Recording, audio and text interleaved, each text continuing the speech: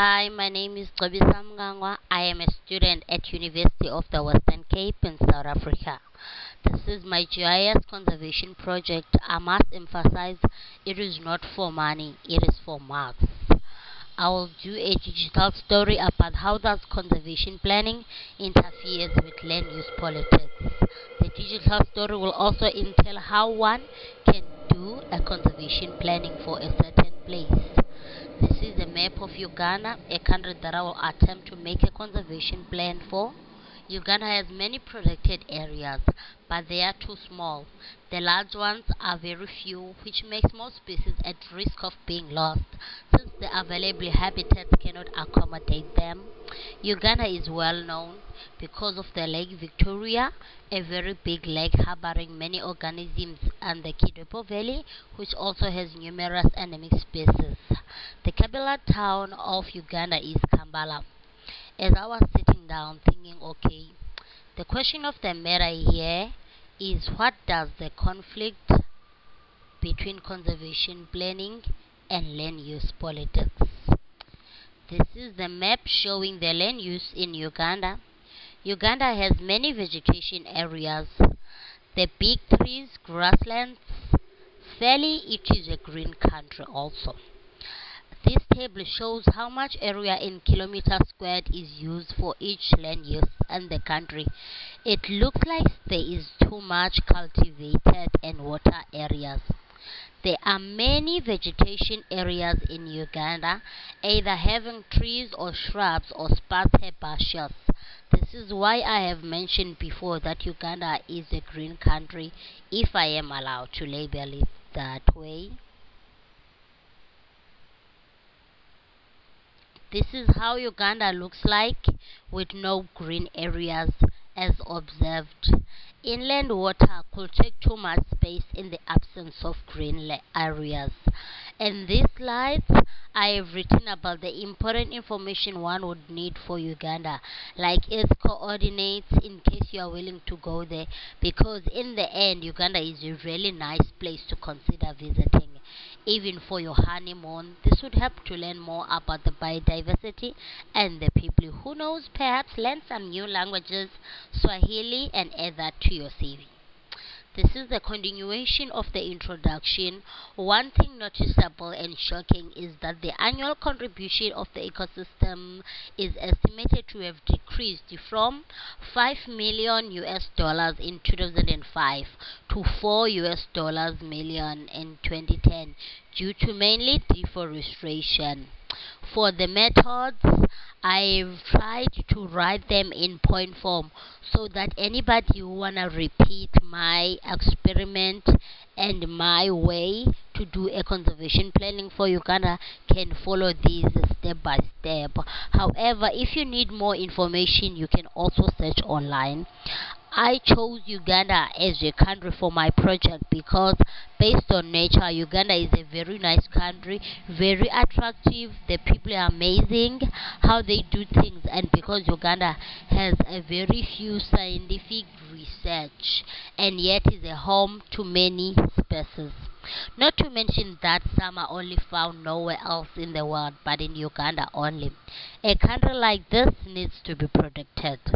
The IUCN suggests that for each taxa, at least 10% of its species should be protected. This means that only 10%, if possibly and wishfully, more than 10% can be conserved, even 100% for that matter.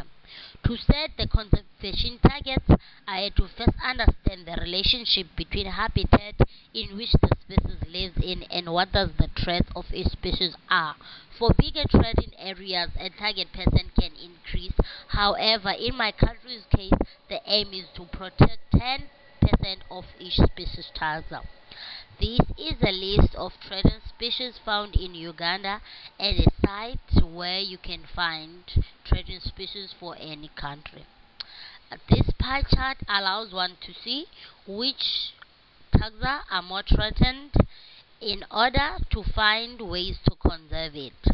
In Uganda, more fishes, plants, birds, and mammals are threatened.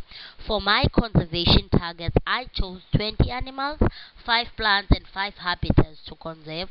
I know mostly are under protection already, but as for my project, I needed them. There are two types of conservation that I would like to do. One is a species specific where I would like to conserve a total of 25 species. The other one is a habitat conservation since I have found that, that most species in the country are threatened by habitat loss. This is a map of Uganda showing its places. Uganda is also surrounded by Congo, Sudan, Kenya and Tanzania, so they share the most of their land uses. As mentioned before, Uganda is not a dry area. It is full of water. Here are the water lines. Conservation can be defined as a way of protecting the land, its resources, together with the species found there. In this project, I used a systemic, a systematic approach using hexagons. A systematic approach has been very easy approach to use when doing a conservation analysis because it is comparable and has a strong scientific basis. These are the categories or keys showing what level of extinction a species is in and what does it mean. Starting with the animal of Uganda, I use 20 of them. They are all endemic to Uganda. This first one is an endemic species to Uganda known as Dasymys montanus. It also has a distribution map, which is a dark map with some pink lines showing how it is distributed within the country. Another rodent Pelomys isseli, a bird, Ploceus spekeoides, a frog, Amietophrynus vittatus, a fish, Haplochromis aelocephalus, a cheetah, Acinonyx jubatus, a lion, Panthera leo, a water pig, Hippopotamus amphibius, an elephant, Loxodonta africana, a chimp, Pan troglodytes, Gorilla beringei, Giraffa camelopardalis, Potamogale velox, Crocidurus selina, Micropotamogale ruenzori, Trachyorhynchus ancolae, Myosorex blarina, Lutra maculicollis, Otomops martiensseni, and Panthera pardus. I am also planning to conserve at least five plants in Uganda. Cola bracteata, an endemic plant in Uganda. It is a species that is only found in this country, which is the reason why I chose Uganda as my project country because it is species like this that have no information from the IUCN, neither from GBIF. As I'm talking, people would be trembling on it and it would go extinct because nobody is aware of it. There is also Pseudospondias microcarpa, Ficus natalensis, Bridelia micrantha, Teclea nobilis, Historically important conservation-worthy areas were determined based on a scoring approach which ranked the predetermined important regions in order for their importance. Such approaches include hotspot analysis, the gap analysis, and other optimizing strategies. The hotspot analysis, summing species, and designating the richest sites as those worthy of conservation.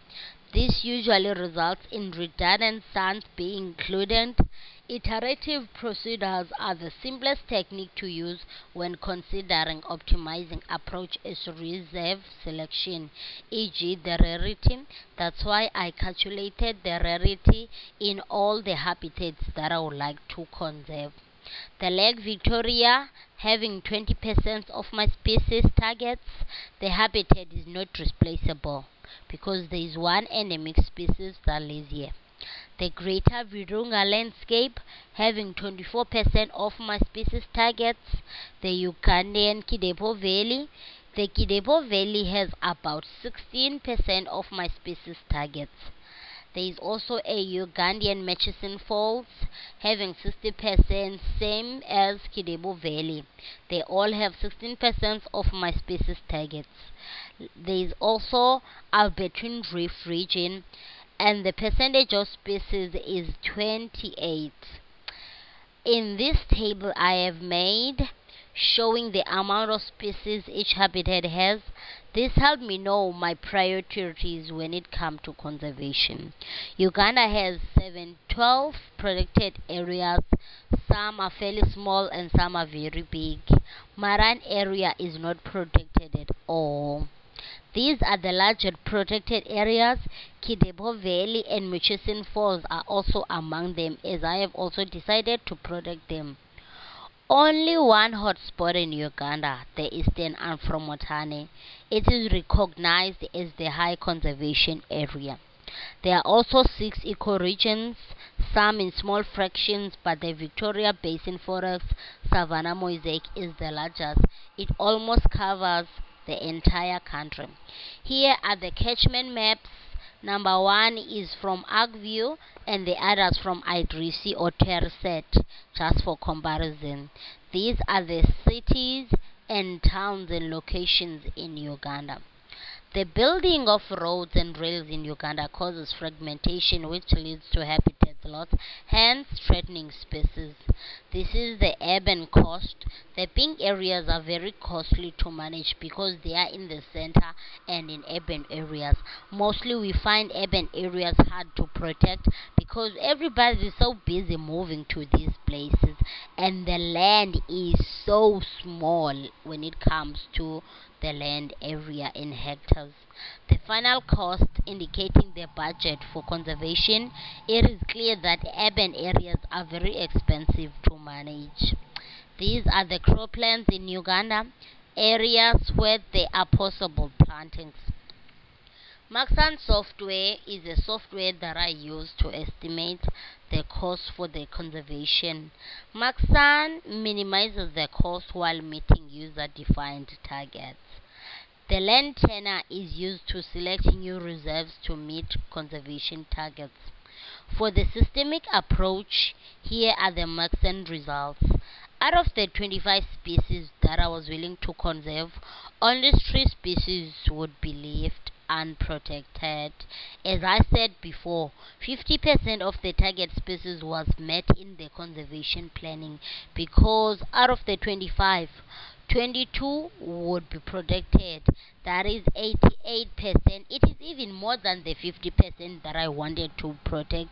So that's why I used the systematic approach because it is transparent, objective, and comparable. This is the current protection of Uganda. Its hectares used to protect species. According to my conservation planning, this will be the future of Uganda when additional protected areas are taken into in consideration, the ones that I've just done. The species prone to extinction show a decline in population size. The population also fluctuates and sometimes the population are very small. These are the species we need to look after, hence I was doing this conservation planning project. These are the causes of extinction. Habitat loss in Uganda can be due to any of these threats. Ecological conservation was also done to compare with the systemic approach and it ended up taking almost the entire country, which means that it is not possible to protect the whole country. This interferes with the land use politics. The land has also to be used for some other things, not for conservation of some species only. All of this information I have generated can be used to create and manage new reserves and also educate people about the risks these species are prone to. These next slides show a summary of my country.